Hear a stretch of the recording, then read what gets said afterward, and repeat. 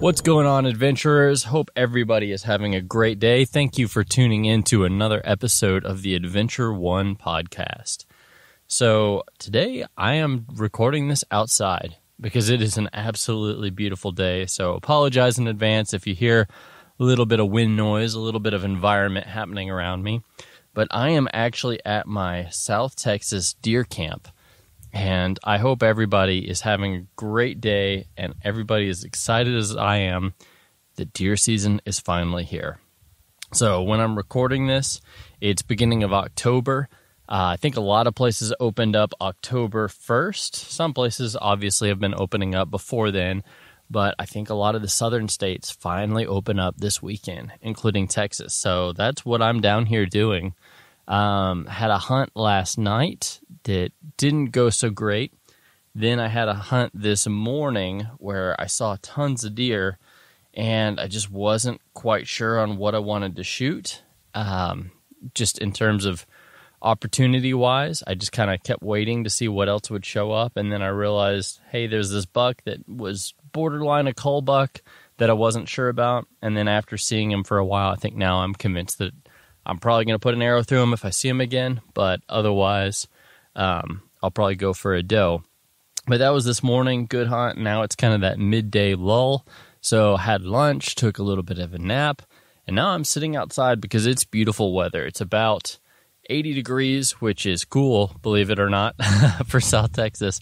I know a bunch of people up north would think that's ridiculous that 80 degrees is nice, cool, great deer hunting weather, but for opening weekend down here, I mean, that's pretty darn good. Uh, I think the low was 59 or 60, which is not especially cool, uh, but man, I'll take it. That's pretty good. So I wanted to take this time to reminisce a little bit on my last hunt. And my last hunt was not down here in Texas. In fact, it was up in Montana, very far from here.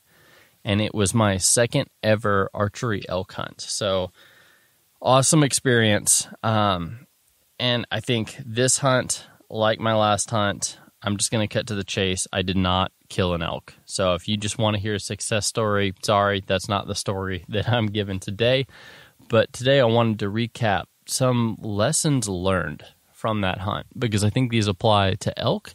And I'm kind of novice when it comes to elk. I've killed a bunch of whitetail, killed a bunch of pigs, but I've spent a total of about 10 days elk hunting. But both times I went, it was very much. I think there's people who are way more hardcore than I was, but it wasn't lackadaisical by any means. It was absolutely hunt every day, morning and night, hike eight to 10 miles a day. Um, pretty aggressive style hunting, lots of calling, lots of hiking, lots of covering ground. And I've pretty much decided that I want my first elk to be with a bow and that just is what is going to make it more meaningful to me. And I think last year on my hunt, if I had a rifle and I was taking a 200 sh- yard shot on a bull, I would have had one down. And I can say the same thing this year. I think probably, maybe even the first day, but probably the second day, I would have had a shot at a really nice bull. But with archery, everything gets a little bit more complicated and it's way harder. And to be honest, that's kind of why I like it. It's the challenge. It's, yeah, it's the frustration. And why would I say I like the frustration? Well, I think it's just, it makes the highs higher, but to do that, the lows are lower. And so I'm kind of coming through a low after this last hunt. So it was with a outfitter and a guide service and that's something that's not really my typical style. I definitely don't have anything against people who hunt with an outfitter or a guide. Um, it's just a little bit different and there are some guides and outfitters out there that are just absolutely incredible um, both in their knowledge and skill on the game and area they're hunting but also just incredibly nice generous individuals but then there are also some guides, especially down here in South Texas, that are not licensed guides. They're just the guy who fills the feeders and kind of runs the day to day operations of a ranch. And they're helpful and nice guys a lot of times, but it, it's a money machine rather than truly what a guide service actually is, I would say, which is um, part of the service industry. And and a guide's job generally is to just put the to serve the client to put the client on an animal. And the guide can't guarantee a shot can't guarantee your accuracy but he can put the client on an animal. And so this hunt was a chance to hunt with a guide service um, and it was more because i got hooked up with these guys who were doing another hunt and then i kind of hopped in um, I guess to shortcut the rabbit trail, kind of on the marketing side of it. Um, I was involved. There were some other people from some other brands and other content creators involved, and so I kind of got to tag along for this hunt. And so, yeah, I paid for my tag, paid for my travel, all that stuff. Um, so it was by no means a give me, um, but got to hunt with a guide out there who was very knowledgeable. And on this hunt, it was central Montana, so very rugged um, I wouldn't say mountainous as much as just extreme hills. Um, there were no peaks and incredibly steep things we had to climb, not like Colorado, um, not even like what I experienced in Idaho, but just big, wide open terrain. And we would glass and see a bull maybe a mile away and need to try to get over to him or try to make a plan for the next sit. Well, it wasn't even really a sit, but the next morning or evening period to try to make an opportunity happen there. Uh, so we covered a whole lot of ground, and it, it was interesting um, just seeing how much we patterned these elk very similarly to kind of the way I patterned whitetail down here versus my first hunt in Idaho, where it was all in the mountains, chasing them basin to basin. It was a little bit different. It was very much um, just when you see them, make a plan, go after them. And it was a little less strategic and more just kind of high energy scramble. This was a little bit more strategic and planning your sits and planning, you know, where you want to be at a certain time, very much like deer hunting. And uh, I actually did not get a shot opportunity until almost the last day. It was the second to last day. Um, and I was with the guide we were working one bull. Um, we were at a great place where I think they were down in an alfalfa field in the evening, and then we're going up into the hills into little patches of dark timber during the day. Um, they had done that in numerous times, um, probably even since well before I was there. That was kind of their pattern, just their food to bed pattern. Um, but I had observed them doing that it just seemed like it was a different field in a different basin a lot of t- or in a different patch of timber excuse me a lot of the times. It wasn't always the same one. So when we figured out or had a pretty good hunch of uh, which field they were going to be feeding in at night and kind of where they were going to go up during the day basically we pulled over off the side of the road we heard them um, and then they were already pretty much headed to the hills by the times by the time we were in there moving. And so we were moving probably an hour before dawn, um, kind of going up the slope, just chasing bugles, hearing them. And then we felt like we were getting pretty close to one bull. Um, and the guide was calling, mostly cow calling, bugling a little bit, and he'd get a response. And this bull started working in. And in elk hunting, there's just this classic decision that you have to make. Do I sit in front of the tree or do I sit behind the tree? There's an advantage and a disadvantage to either choice. So if you set up in front of a tree when a bull's coming, you're a lot easier to pick out. Even if you've got awesome camouflage, just a human form does not look like a tree. So it's important to have something behind you, but you're just not behind cover. So you're more visible for sure, especially when you move, because elk and deer have excellent eyesight when it comes to catching movement. And you're just really vulnerable uh, when you're standing out in front of cover but there's nothing in your way when you need to draw, when you need to take a shot. So your shot opportunity is probably going to be a lot better. Versus if you hide behind cover, generally behind a tree, behind a pine or a cedar, if you're elk hunting, um, yeah, you're going to be in a lot better cover. You're going to hide a whole lot better. But by the time a bull comes running in, how do you get around the tree? How do you shoot? How do you how do you manipulate that? And so I've kind of defaulted to generally staying in front of cover with trying to kind of not silhouette or skyline myself to have a shape behind me And that's helped a lot. But anytime you can kind of find a place where you can wedge in between so you have maybe a little bit of low cover in front of you, but high cover behind you, I think that's the best of both worlds. So that's kind of the decision I had to make as this first bull was coming in. He was coming up a draw. Uh, I got in front of a tree and we saw him coming up, um, but he hung up at about 100 yards. And th- it was so exciting to see this big, big mature bull just screaming his head off. Um, but ultimately, he stopped. He kind of, I don't know if he had just been fighting all night and was just tired and exhausted, but he kind of decided that he didn't want anything to do with it. And he just kind of lumbered off um, and dropped into the next valley over where I think he was just trying to bed down. Sorry if you're getting any wind noise here. It's the wind's picking up a little bit. Um, but he dropped over the next valley, and so we basically said, yeah, we could probably charge in after him, but I don't think the wind's going to be in our favor. Uh, it's going to be a rough one to try to hunt. Um, so let's go find something else. And about when we had seen him drop over, I actually spotted another bull going up the next ridge, and then we just sat there for about 30 minutes and watched, and nothing came out. So we knew that he bedded down in the timber on that ridge.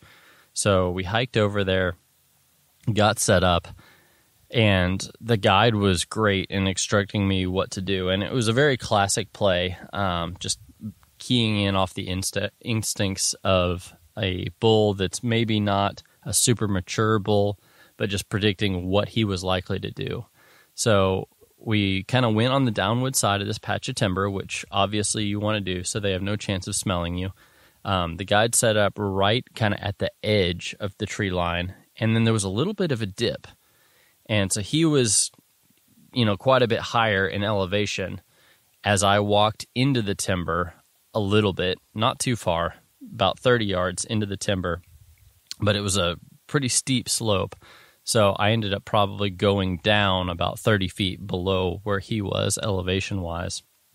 And we knew that the bull was on the next rise as that dip kind of went back up on the other side. He was in there somewhere. Um, and so he started cow calling. Um, just after a couple calls, I thought I saw movement. So I pulled up my binos and I was just glassing. And then I actually saw a hint of an antler move way, way back through the woods. And it turns out he was probably about 150 or 200 yards. And I actually saw the bull lift his head up and he was bedded down. And so he got up, started walking around, acting like he was going to come into the call, but then was kind of hesitant and started kind of trotting back and forth. And then he trotted away from us for just a second. And I was wondering what happened. And then I caught him again, moving this time over to the right. And I think what he had done, he was bedded down, and there was another bull there. And so I don't know if he was intentionally getting that other bull out of his bed or had bumped that other bull out of his bed, and they just had a little mini confrontation. But either way, he was up, moving over to his right, and now two bulls were coming. So this whole time, I'm sitting there with a camera guy behind this giant log, this huge old pine tree that had fallen down kind of in that ditch that we were sitting in. And so it was great cover from about uh, waist level down. And so we could kind of half squat and peek over the top of it. That's how I was glassing. Um, and that way, we I could still potentially shoot over the top of it if I needed to, but I was covered a little bit from the front and then had some thick bushes behind me and then another 50 yards behind me the guide was calling. So we started seeing the elk walk over to our right. Um, he was still probably 100 yards ahead of me and I at this point I had arranged every tree between me and where that elk was bedded because my last pin was at 70 and if I had time and it was a good broadside shot and felt really steady, I, I feel totally fine taking a shot at 70. But if it was rushed, probably not. So I had ranged all the trees between me and those bulls, but then they kind of came outside of the trees and started walking on the edge of the tree line, which threw me off a little bit but what threw me off more is that there were two when I was expecting one. And so every move I made, either with my rangefinder or with my body, I was trying to keep an eye on both bulls because I didn't want to be watching one and then have the other one bust me. So as I was watching them start to circle around and come our way, coming to the cow call, I was just trying to be very conscious there and not blow out one or let one spot me while I was hiding from the other. And then one was kind of hidden behind some trees, and I waited till the other one couldn't see me, and that's when I ducked down and turned, and these bulls were almost directly to my right, and the wind was in my face the whole time. And so I knew at this point that the bull was trying to go down to the call and get downwind of the call and smell the cow. And it totally makes sense. A move that I should have anticipated. The guide, I'm sure, probably did anticipate that because that's why he was set up behind me. Um, but I had not ranged anything behind me. And I hadn't really looked at how steep that slope was. And so when that elk came around behind me, I just saw him pop out and he was pretty close. And I saw that slope and I saw a very narrow window where the elk that was still in the back was hidden, but I had a good clear broadside shot at the lead bull. And so from then I just decided now's the time. And so I stood up and drew in one motion. And actually, I whispered to the camera guy, stay down. And I, I don't know if he heard me or not, but I actually drew almost over his back, lined up my bow on the elk. And then I realized I didn't have a good range here. And so I just kind of had to guess it. And so just, I had heard so many stories of people seeing these elk, whitetail hunters seeing elk, and then just they were not used to an animal that big and so they assumed that the animal was way further away when actually the animal was up close. And I think that that story had been rattling around in my head all week. So I kept telling myself that elk is probably actually further than I think he is. I do not want to compensate the wrong way. And guess what I did? I, I took that and I ran with it too far. I settled down with my bow, had my red pin right on his vitals, which is my 40 yard pin, because I realized, you know, that looks about right. Maybe he's a little closer, but I'm I want to make sure that I'm assuming that he's further instead of being thrown off by the size. And there's a little bit of a slope here. So, you know, when you're shooting up a slope, you would actually aim a little bit longer normally than you would if you were shooting flat or downhill. So, settled my 40 yard pin right on the vitals, but he saw me when I drew and when I settled down. And so that elk was looking right at me. Fortunately, I was still enough that he didn't blow out immediately, but I realized I didn't have time to get a range. I had to just either shoot or not. And so I let it fly. And when I did, one of the first things that I noticed was some sort of grass or brush fly up. And as I shot and heard the arrow fly off and did not hear an impact, I thought, oh no, I hit a branch or I hit some grass. Somehow I hit something that was a deflection when I saw that. And even sat down before we went and looked. Uh, camera guy replayed the footage, and sure enough, we saw that little piece of grass fly up. Then I looked at it closer and I realized on the footage when the elk had walked in, he had some grass or some branches or twigs or something actually stuck up in his antlers. So I don't know if he had been kind of digging in the ground or raking a tree shortly before that, but there was some junk in his antlers. And then when I shot, he twitched and turned his head. And that's actually that grass flying out was what I saw. So then I had a little bit of hope that, well, that wasn't from my arrow hitting something. I didn't cut off some grass or a limb. Maybe I had clean arrow flight, but we kept watching it, and I think my arrow went. We didn't get a great look at it because for some reason my lighted nock either did not turn on or I was so backlit and the exposure of the camera was trying to expose to the dark foreground that by the time the arrow went up higher you just you couldn't see a nock or anything. You could kind of see where it went but then it just kind of disappeared in the bright sky. And so i think i shot right over his back. And so i didn't know what happened um, and then i realized well i had been carrying around this rangefinder all week I had ranged every tree between where this bull came from and where I was. But when it came down to it, I hadn't actually ranged where the bull was. So I went up, I asked the camera guy to stay sitting there at that log. He sat there. I walked up and stood right where the elk was. I found his tracks and ranged back, and it was 28 yards. And I had just massively misjudged the range. And again, I think it was just a com- uh, combination of me not wanting to assume that the animal was close just because he was big, and so just overcompensating there, and the slope, and then I don't know, I was just in a hurry, so I just I guess wasn't thinking clearly, and what I was convinced was 40 yards was way under that, and what really sucks thinking about it is I could have just pulled up my top pin, and it would have been on. Yeah, I would have hit low, but it would have been in the vitals and guess what? If I had put my 30 pin, it would have been money. It would have been perfect. But the drop between 30 and 40 is just enough, or 28 rather, and 40 is just enough that of the three realistic pins that I could have chosen, I picked the only one that wasn't good. And I sent it just inches over his back. And that was a huge lesson learned to me. Not only carry your rangefinder and range every tree, and I'm so used to on whitetail that are always moving around and are really jumpy. I don't think I've really ever had a chance to range the animal. Usually I'm ranging, okay, that fence post, okay, that tree, okay, that white rock over there. And I kind of memorize those ranges and kind of lay out my battlefield.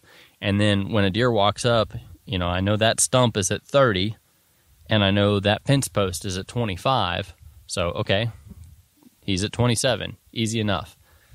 But on an elk, I'm just not used to judging it like that. And so I realized the importance of trying to range the animal is critical.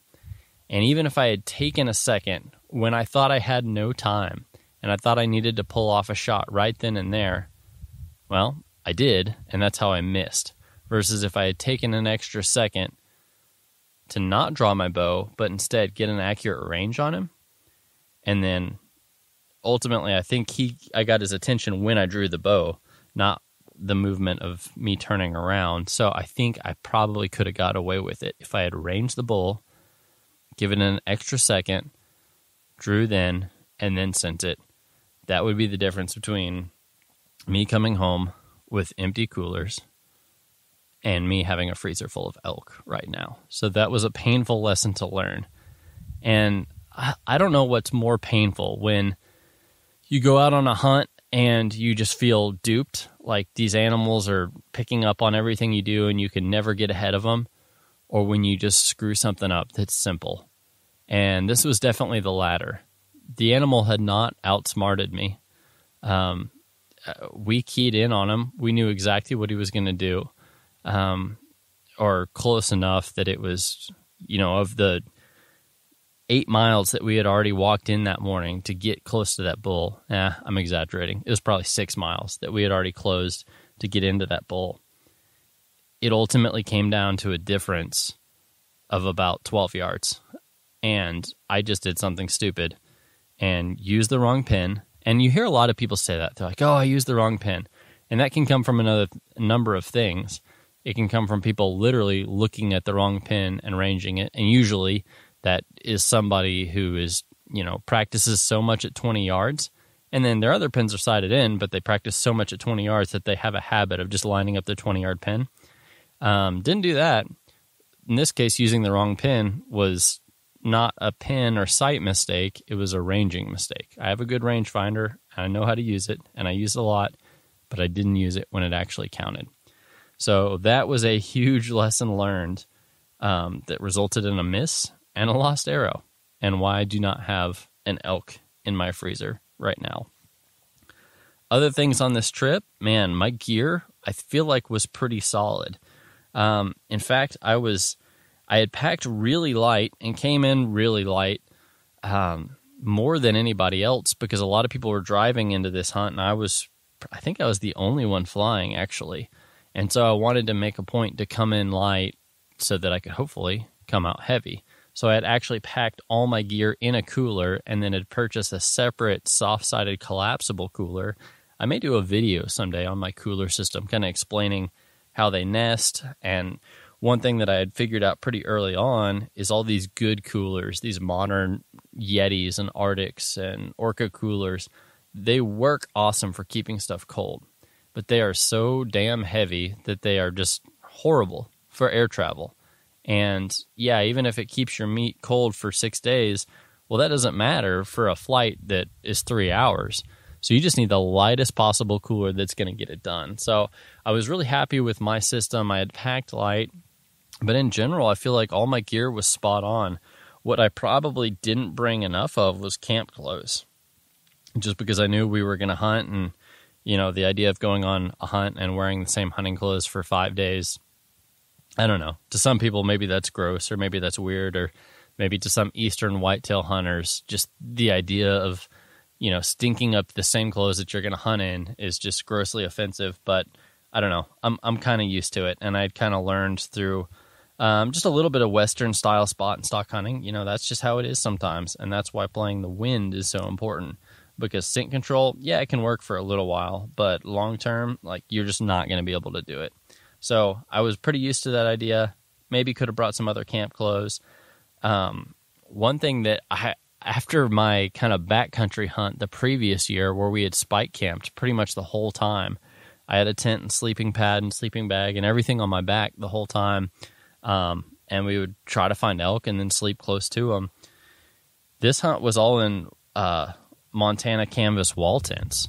So, and with a heater. And so it was a lot more cozy and comfortable. And so I had actually brought my Katadyn uh, water filter and a bunch of Mountain House meals and my lightest weight sleeping bag and a lightweight uh, blow up air mattress and just a lot of my lightweight gear that ultimately I didn't need any of it. So I think it was good that I had it, but in the idea of trying to pack light, it comes down to packing efficient. If I packed light with other things but brought gear that I didn't end up using, that was still a mistake. So I think a lesson learned there is just with anybody else who's going on the hunt, whether it's a guide or an outfitter, um, just clarify your gear. Like even if you feel like you're being obnoxious, because I was just kind of joining in on this hunt, so I didn't want to ask too many questions. I just wanted to show up with everything I needed. Um, and again, would have been fine if I was driving in, but just clarify hey, what's the likelihood that we're actually going to spike out to the point like, do I even need to bring this gear? Just a good question to ask, a good thing to think about. But otherwise, um, my bow, all my accessories, my arrows. I did a whole video on my bow setup that I'm using. Um, it was actually down at this ranch where I'm sitting right now. Uh, but that's the exact same setup I used, and I was very happy with how that worked. Um, I was using a new bino harness from Badlands that worked out great. Uh, Sig Kilo rangefinder that is a very accurate rangefinder, but as I said, my biggest lesson learned is I got to use the darn thing. So hopefully that's kind of an entertaining story. Maybe you can pick up on something where you can learn from my mistake, uh, learn a little bit of a lesson here. But I mostly just kind of wanted to sum up that trip. What happened? when I got an opportunity and did not end up with a bull.